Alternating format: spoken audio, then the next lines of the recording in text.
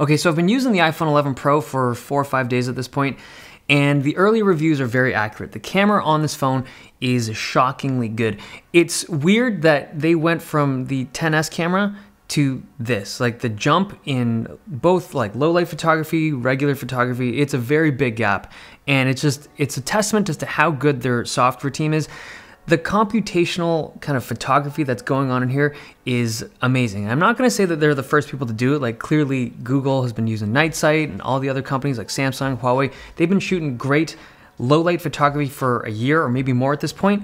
But the 11 Pro does it in, in, an incredibly intuitive way. Like I would actually consider this to be the best camera on the market right now when it comes to just overall software, hardware, and just ease of use, like the simplicity of this camera system is really one of its best features for the average person. I gave this phone to my mom, she was able to shoot low light photos without any kind of menu navigation.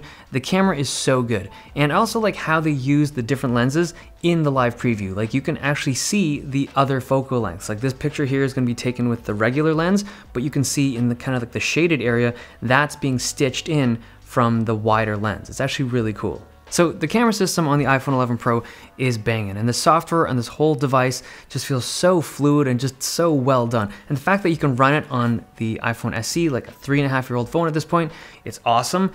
But the hardware on this phone still feels so lackluster for 2019. And people are gonna be like, Dave, you're just such an Apple hater. It's not about that. Like, clearly I like the camera, it's a winner, but the overall package just isn't doing it for me.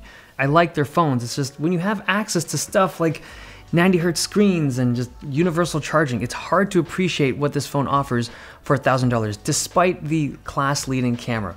Now, the thing that sucks about this whole thing is that I feel like Apple purposefully does this. See, we're in year three of Apple's three year product cycle. They do this with their phones now and they currently do this with their laptops, it seems, where they bring out a new model on the first year, they kind of tweak it on the second year, and then they tweak it again in the third year. So this third year, which is where we're in right now, the third year of this kind of notched iPhone shape, it's the hardest year for Apple to market a product, right? Like the device has been out for three years, it doesn't look particularly fresh and new, so they got to do some stuff to push these devices a little bit more aggressively.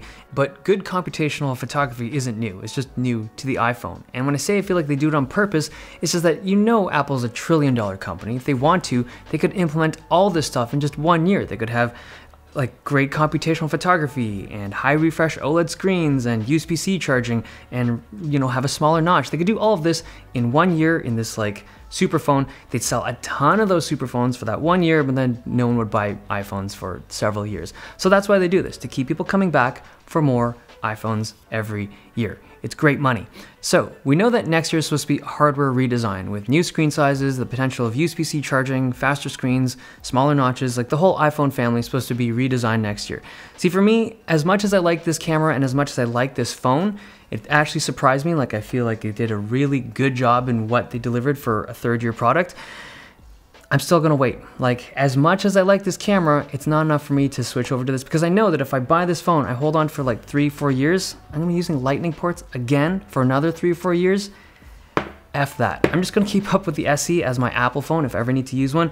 Like, I actually had to use this phone recently to record my kid when he was first learning how to ride his bike, and I also found some Caterpillar that he really wanted photos and videos of. And the image quality on this stuff is mediocre at best, but I caught the memory, and that's really the most important thing when it comes to at least most photography that I'm doing. Sometimes camera upgrades are awesome, and the iPhone 12 this year is like, it really is something special, but eh, the hardware still feels a little too stale for me. I'm gonna wait for the iPhone 12 because I know that one is gonna be awesome. Okay, hope you guys enjoyed this video. Thumbs if you liked it, subs if you loved it. See you guys next time.